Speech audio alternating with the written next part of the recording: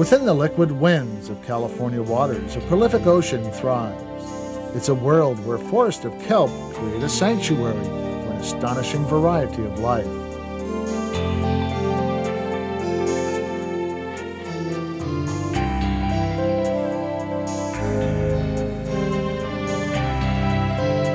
A place where Garibaldi's add colorful contrast and sea lions fly overhead like aircraft. Those who explore the submerged realm discover a majestic, hidden world. And as we shall see, a world far removed from the perspectives of those who live on the land. Hello, my name is Bill McDonald, and you've just tuned into Adventure, the series dedicated to discovery and storytelling about the world around us.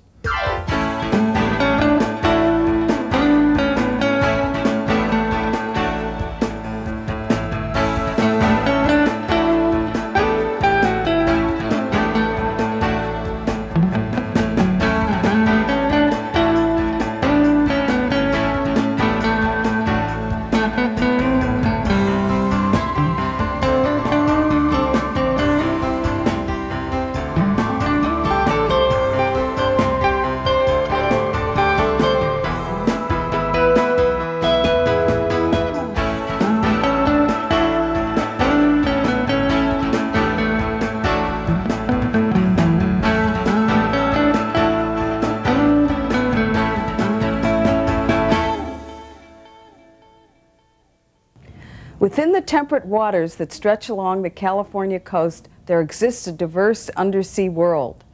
We are going to share some of its unique places, along with a few of the creatures we have been fortunate enough to experience.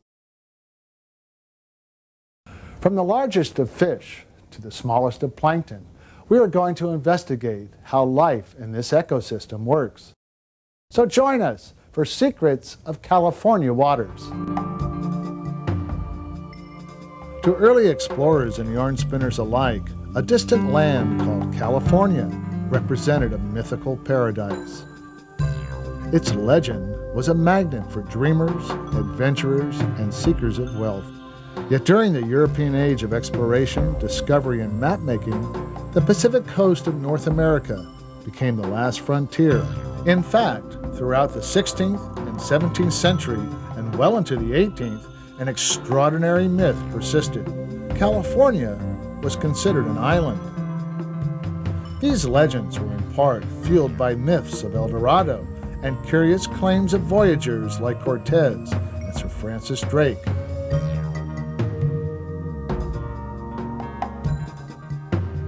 It wasn't until 1747 when Spain's Ferdinand IV issued a royal decree declaring California is not an island.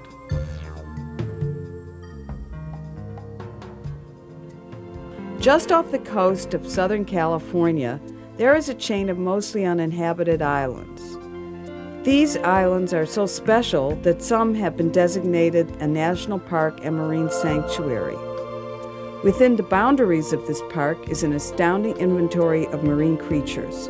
Foremost among these are marine mammals.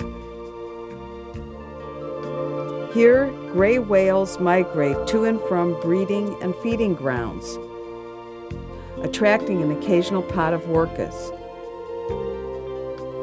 And dolphins seek out passing boats for what appears to be the joy of bow riding.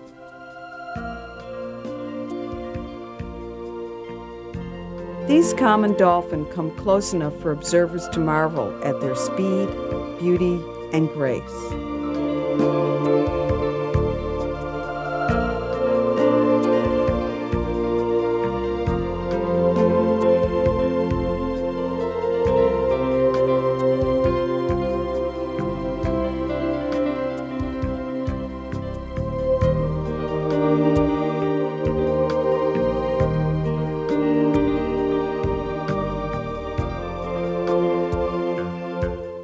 In addition to the playful dolphins are sharks, mako, and blue sharks.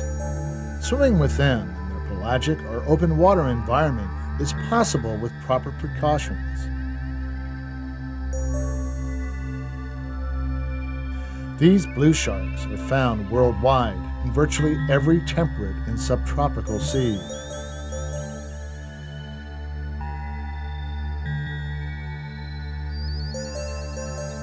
The blue is clearly the most abundant pelagic shark species in the waters of the Pacific coast. But what makes the blue shark so successful? Perhaps it's because females can produce as many as 135 pups per year.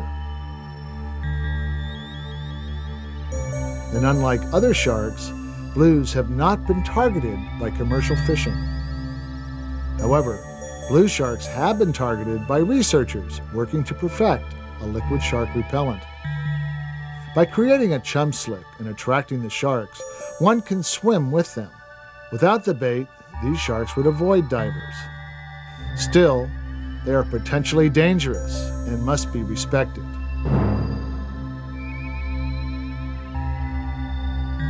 The repelling material these researchers are using has been designed not to injure the shark, the environment, or the individual who is using it.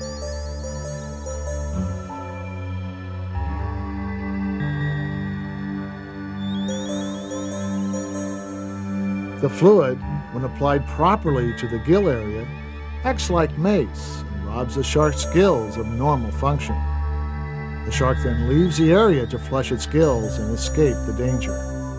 Rarely do these sharks return to chance another encounter.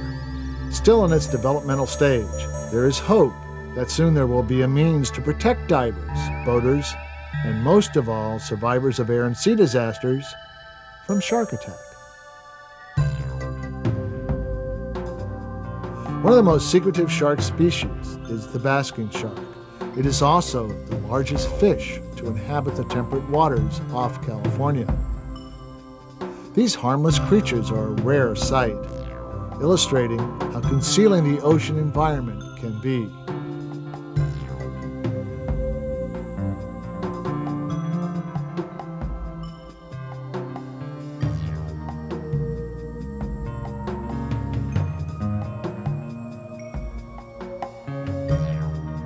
Unlike their smaller cousins, these fish feed exclusively on zooplankton.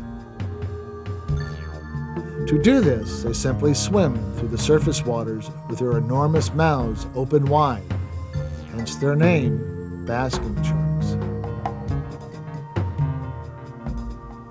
These remarkable fish sometimes surface in Monterey Bay during winter months to bask, but like giant phantoms, can also disappear for decades to resurface at some later date quite unexpectedly.